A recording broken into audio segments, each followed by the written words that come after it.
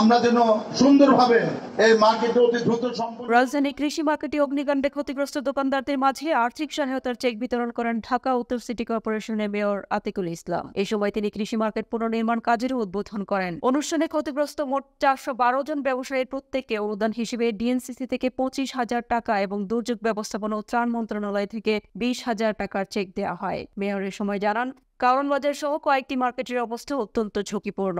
অনেক মার্কেটের দেয়াল খসে পড়েছে যে কোনো সময় ঘটতে পারে ভয়াবহ দুর্ঘটনা। প্রত্যেকটি দোকান, পাট, ঘর, বাড়ি, মাঠ, খেলার মাঠ, ড্রেন, সবকিছু স্মার্ট হতে হবে। বিশ্ব আজ উন্নত দেশের দিকে যাচ্ছে।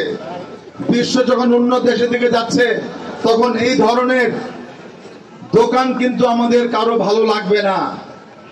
এই ধরনের মার্কেট আমাদের কারও ভালো লাগবে না।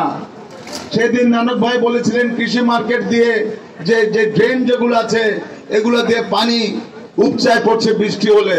বাস্তব সত্য কথা।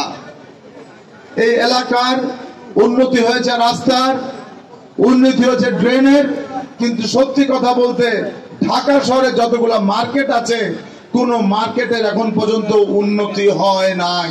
এটি বাস্তব সত্য কথা। এবং উন্নতি করতে গেলেই মার্কেটে যারা আছেন, কিছু মনে করবেন না।